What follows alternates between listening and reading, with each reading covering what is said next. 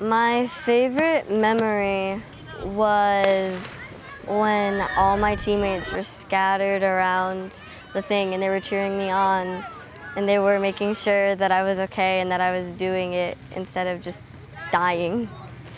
So where can we see you in 2020? Tokyo. Hopefully.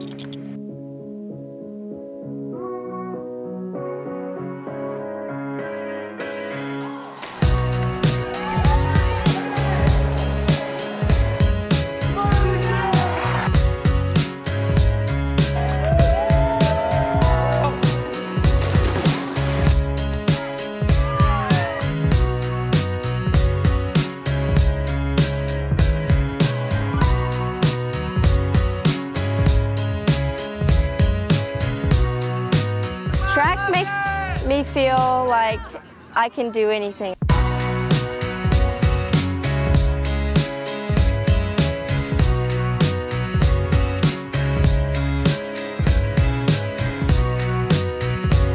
I love it because I get to meet so many new people from so many different states that are just like me.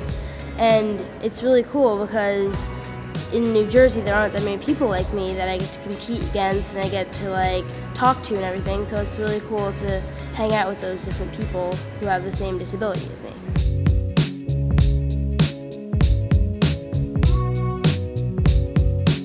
Athletics has changed my life. I mean, I decided that it's time for me to get up and show people that a disability is not a disability, it's an ability. You know, we always, you know, we always kind of think that, you know, just because we're sitting, it could be something that hinders us. But I feel as though my wheelchair empowers me to do more.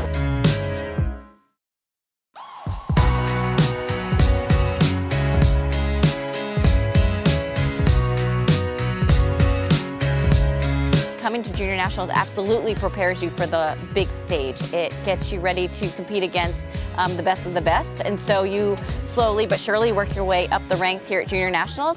Then you're able to go to the adult national level. And from there you can hopefully make a U.S. team in whatever your chosen sport is and go on to the Paralympic Games. I want to go to the Paralympics and the Olympics as well because it'll be a, a great experience. I really want to go to the Paralympics for swimming. I'm hoping one day I might go to the Olympics.